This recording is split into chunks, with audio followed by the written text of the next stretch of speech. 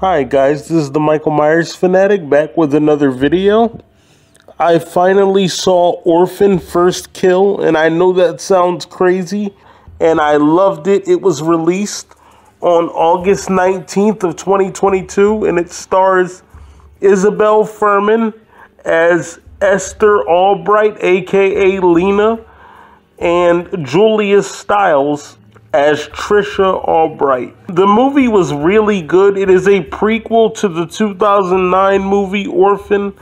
It starts off in January of 2007 where Leena, aka Esther, is at a psychiatric facility in Estonia.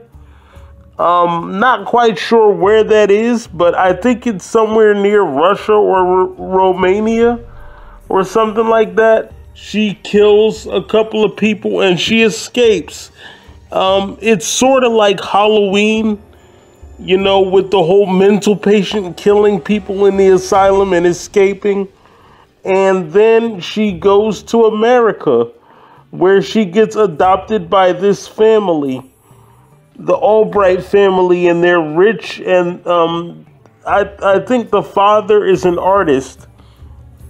So a lot of it is, you know, rehashed shit from the first one. I still think it was good. I think Isabelle Fuhrman did a great job in this movie. She did good in the first one, but this one was even better. I like the scene where she's talking to her stepbrother, foster brother, whatever it is, and she tells him to go fuck himself. I thought that was so awesome. And they mention Lizzie Borden because her brother makes fun of her and he says she's dressed like Lizzie Borden. And Esther's like, Who's Lizzie Borden? And I like the fact that they put that true crime thing in there. This was supposed to be 2007. And True crime, yeah, don't get me wrong, true crime was big, but it was not nearly as big as it is now. Like now, true crime is fucking huge. It's all over the place, but it was not nearly as big in 2007 as it is in 2023. So that's the only plot hole that I could see so far. Um, other than that, I like that they put the whole true crime thing in there.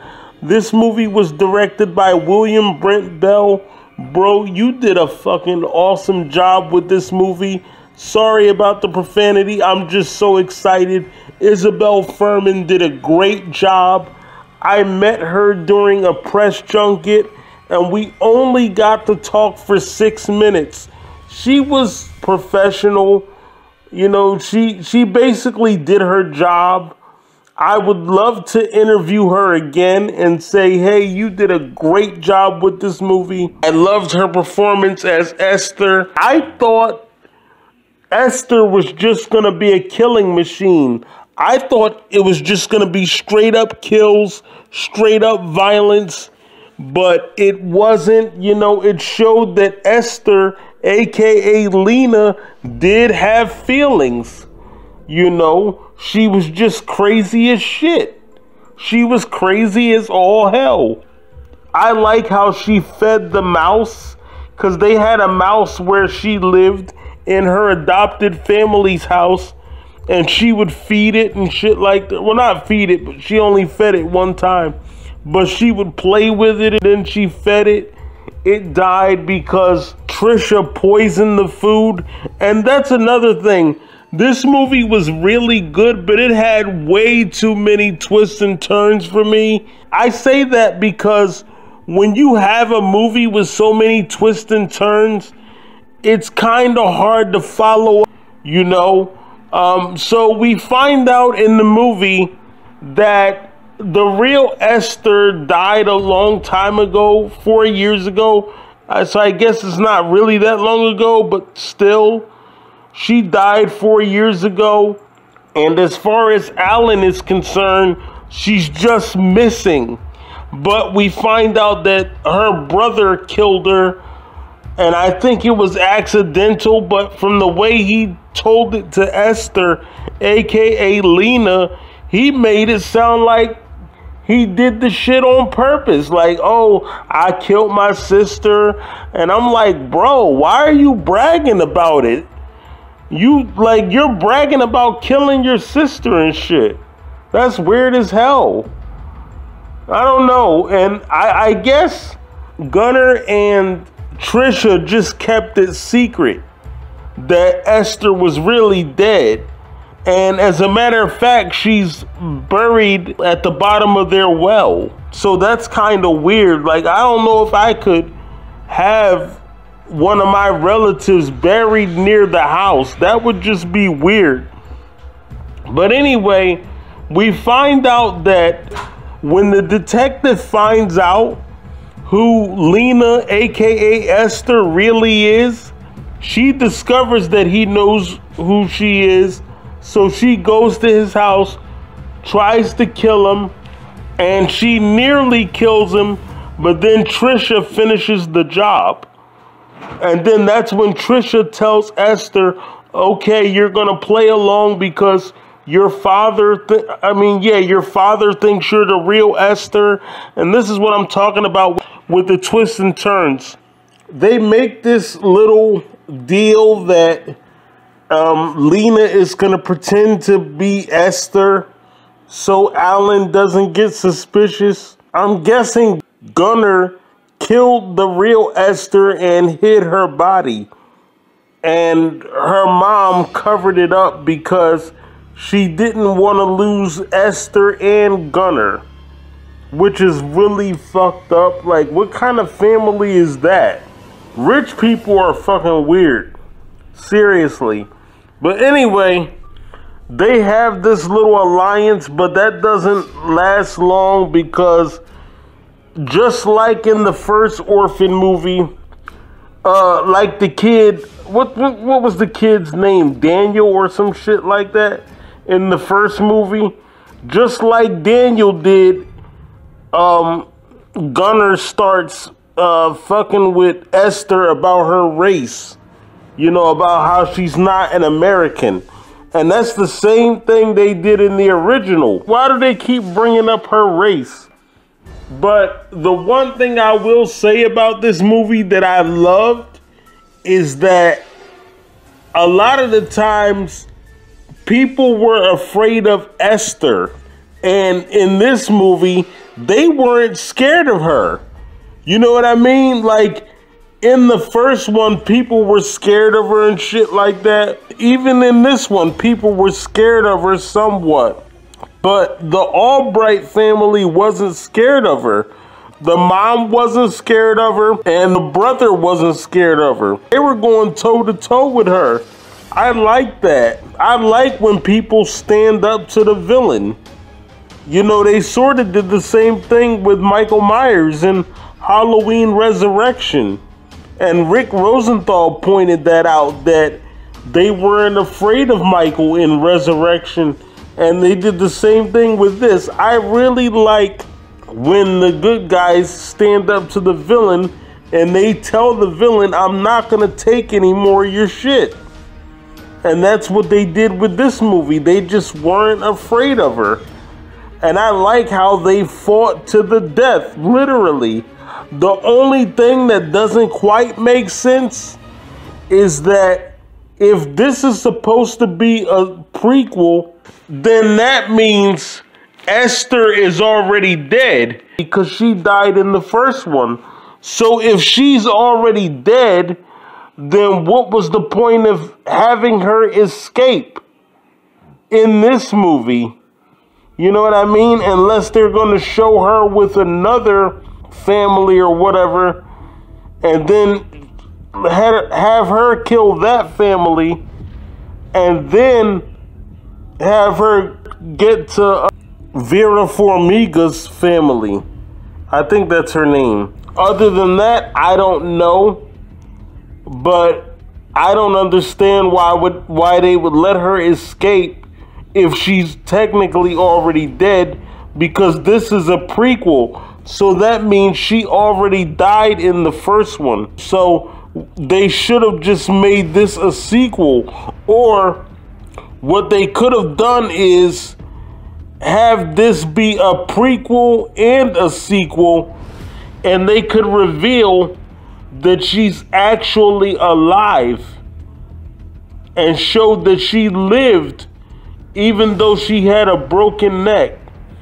You know, because you can live with a broken neck. So they could have done something like that. And that's what I thought they were going to do. But they didn't allude to the fact that she was alive in the first one, or still alive, I should say. But when I went on IMDb, and some people say that IMDb is not a credible source, but IMDb said that they were doing an Orphan 3. So maybe we might get an actual sequel. And by the way, back to the actual movie review.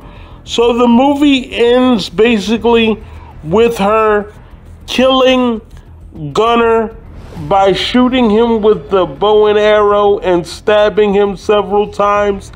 And then she fights Tricia to the death while trapped on a roof, you know, and the house is burning and the father, Mr. Albright, tries to save his wife and save Esther at the same time. And his wife ends up falling to her death and he saves Esther. But then when he saves her, he realizes that she's really a grown up because her fake teeth fall out. He dies because she kills him, obviously. She knows she can't let him live. So then she escapes.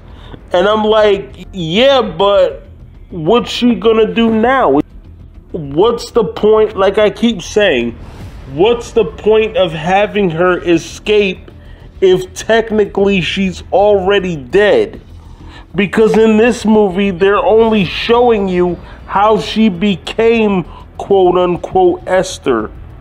So I don't understand why they would let her escape and make it look like there's going to be another one when she's already dead, unless you're just going to have her, like I said, you're going to have her go to another family and then kill that family, and then you can bring in Vera Farmiga's family that's the only way I can see them doing that.